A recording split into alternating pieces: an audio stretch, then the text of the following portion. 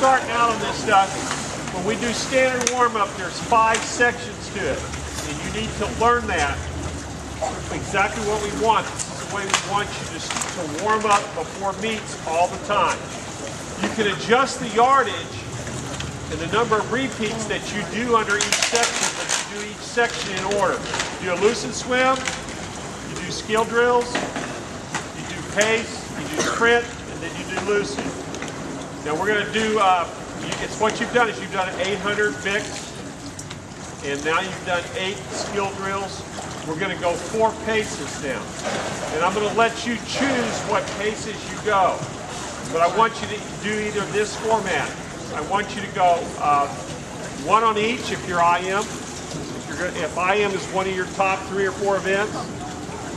If not, then I want you to go one secondary, one free, one secondary, one free.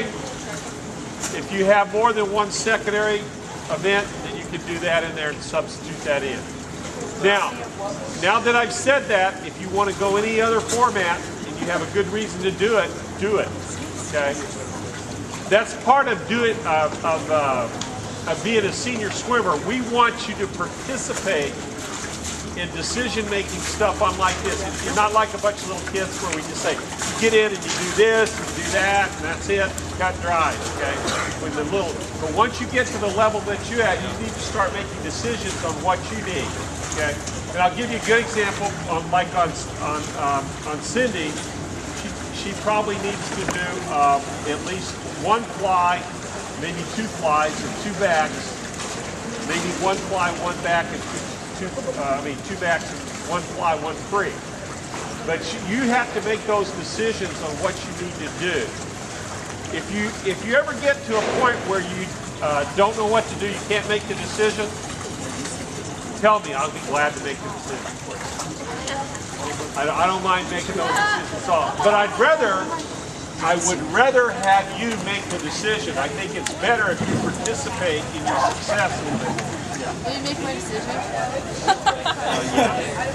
Hey, Coach. Uh, let's have you go, uh, let's have you go one butter. And then one, let's go one butter. Uh, are we doing the sprint challenge set today? No. The question is, are we doing sprint challenge today? The answer is no. Okay, this is this is your first 50. This is your first 50. First group, ready? Yeah. I want to. I'm gonna, I'm gonna go for it.